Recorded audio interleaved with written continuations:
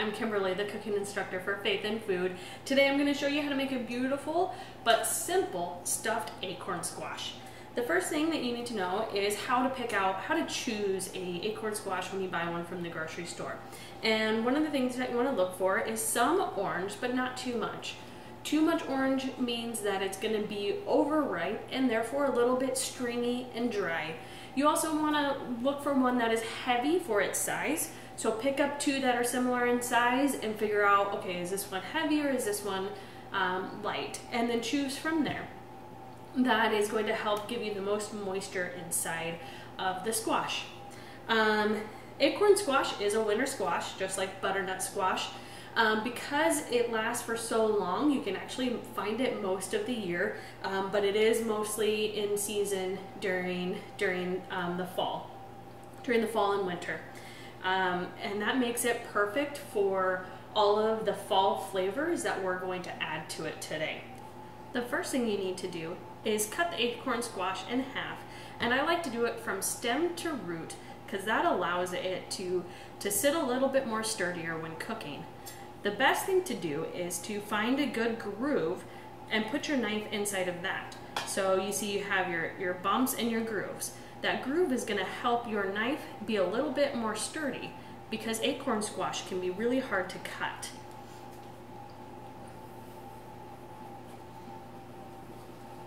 If the acorn squash is too hard for you to cut, like I'm struggling with it right now, um, you can poke some holes into it and either microwave it or steam it just a little bit and that is going to help it soften and be easier for you to cut because it'll be partially cooked. And be sure to use a nice big knife. Now that we have the acorn squash cut in half, we can take out the seeds. To do that, you just use a spoon and, and dig them out. Now, an acorn squash is just like a pumpkin. They're both squash. So if you have a favorite recipe that you like to use to roast your pumpkin seeds and eat them, you can do that with these, with these seeds as well. So don't have them go to waste. They're a perfect healthy snack. So you want to get the seeds and some of that stringy flesh out.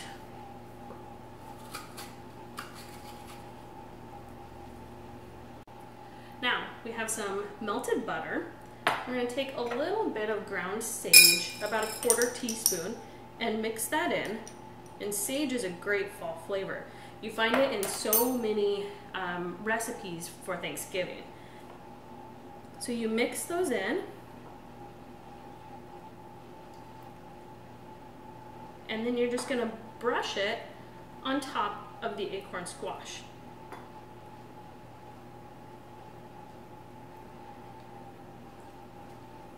Then you're gonna put that into a baking dish, or if you're doing a large portion, um, I'm only doing one acorn squash today. But if you're if you're making four for your whole family, try and use like a roasting rack that you would um, use to for um, for your turkey or a chicken, something that's that's large that will hold them. Now, if you find that your acorn squash won't sit um, sit up straight, you can also cut off just a small portion of the bottom side. And that will help it stay sturdy in the pan rather than rocking and rolling all around. Now I have my oven preheated to 400. I'm gonna go ahead and pop those in for about an hour and while they're cooking, we're gonna make the stuffing.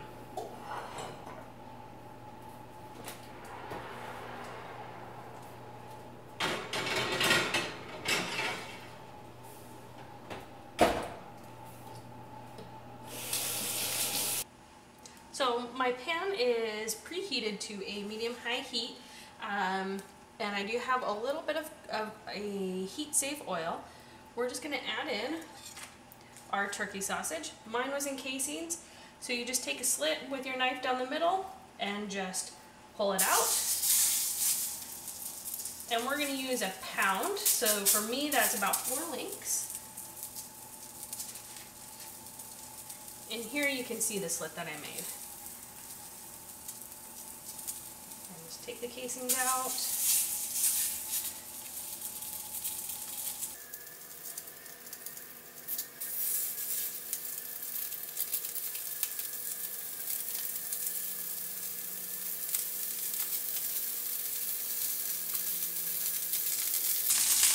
so we're just going to let that brown up for a little bit. I'm going to wash my hands and prepare the rest of the ingredients.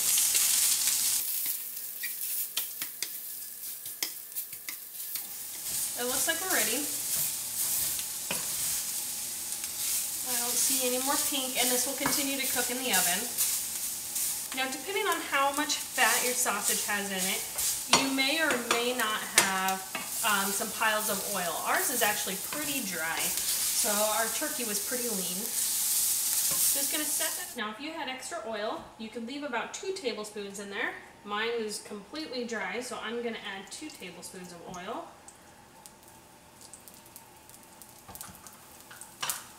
Into that, I'm gonna add in half a cup of onion, and just one rib of celery.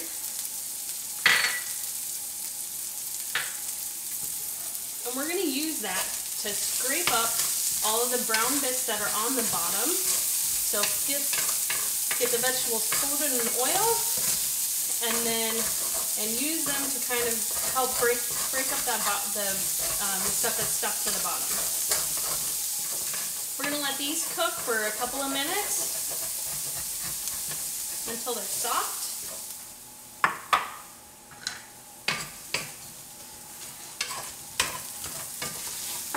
Those look about, about done. Now to that we're going to add two chopped apples.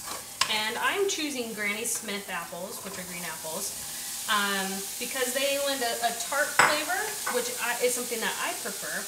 But if you like if you like sweeter, you can use any, any red apple.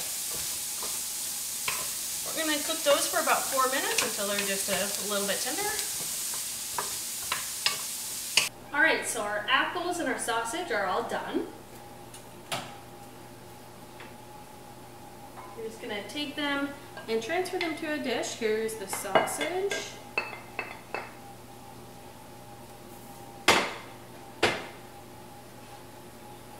and then the apples and the onion and celery mixture. We're going to combine them all together.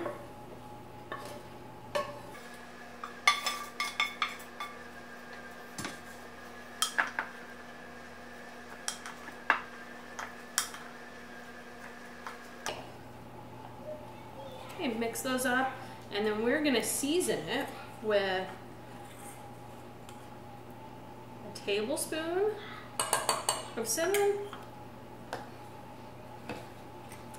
and a tablespoon of maple syrup. And because these are sweet, that's part of the reason why I like to use that Granny Smith apple. That way you don't have an overly sweet dinner. Still on the savory side. Mix it all together and then give it a taste to see if it's to your liking. Um, you know, every, every sausage is different, so you may find you want to add more salt or not at all.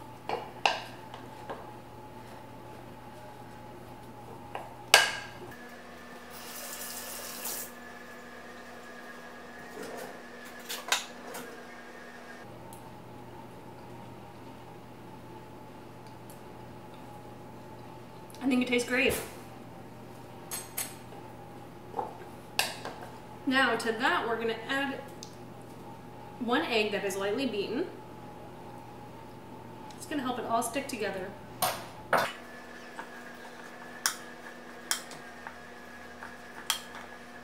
Now we just have to wait for our acorn squash to get be ready. It's not quite there. How you know when a squash is ready is that when you squeeze it, you can tell that it's it's um, a little bit a little bit mushy, a little bit soft, but doesn't break all the way through. We're gonna give it about 10 more minutes and we'll check again. Okay, the acorn squash is ready.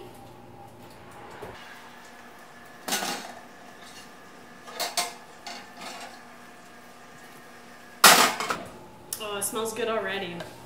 Now we're gonna take this, this sausage mixture and we're just gonna fill up these holes.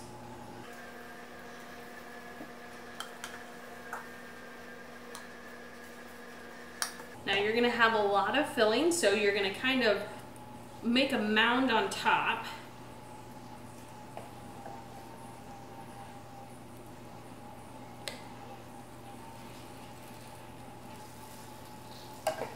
Okay, now we're going to take that sausage, the sausage filled acorn squash, and throw it back in the in the oven for about 20 minutes or until the egg is set up.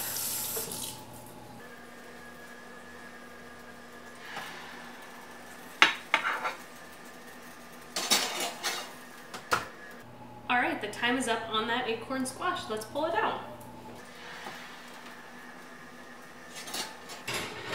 You can smell the cinnamon and the maple, all the wonderful fall flavors.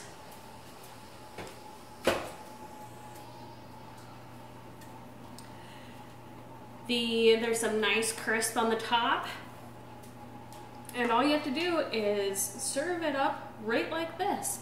The acorn squash is its own beautiful dish. And there you have a stuffed acorn squash with apples and sausage.